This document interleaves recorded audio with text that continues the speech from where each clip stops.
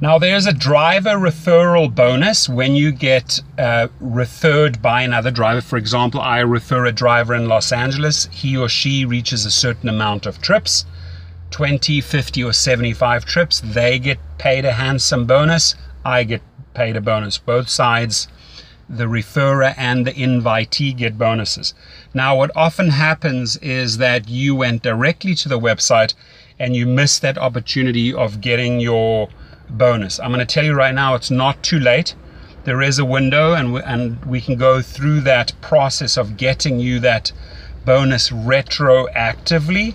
Um, what you would need is the date that you joined, that you actually signed up directly with Uber or Lyft, and then um, your name, your email, your phone number, text or email me. My details are underneath, and then I will get the process rolling with Uber or Lyft management, okay?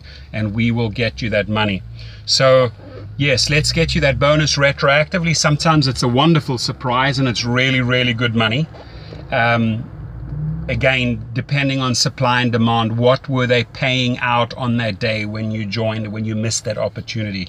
So reach out and let's get the process started. Thank you.